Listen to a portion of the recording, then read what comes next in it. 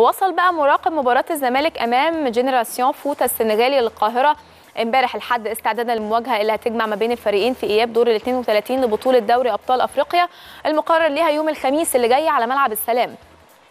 واختارت لجنة الحكام الكاميروني أليو نيانت لإدارة مباراة الزمالك وجنراسيون فوت وبيعاونوا كل من إيفيس جاي نوبي مساعد أول وساندا أومارو مساعد ثاني وجينوت فرانك بيتو حكم رابع وبيراقب الحكم الغاني محمودة نور الدين. هذا اللقاء وحرص مراقب المباراة الغاني على زيارة بعثة الفريق السنغالي وبيرافقه المراقب الأمني أيضا وكانت بعثة جنراسيون قد اشتكت من قبل الاتحاد الإفريقي لكرة القدم كاف خلال تواجدهم في القاهرة في نهاية الشهر اللي فات إن مراقب المباراة ما راحش علشان يزورهم ورفضوا تعديل ميعاد المباراة ومكان اللقاء وقرر الكاف. بعد كده إعادة المباراة في ميعاد جديد وهو يوم الخميس اللي جاي يوم 24 أكتوبر الجاي.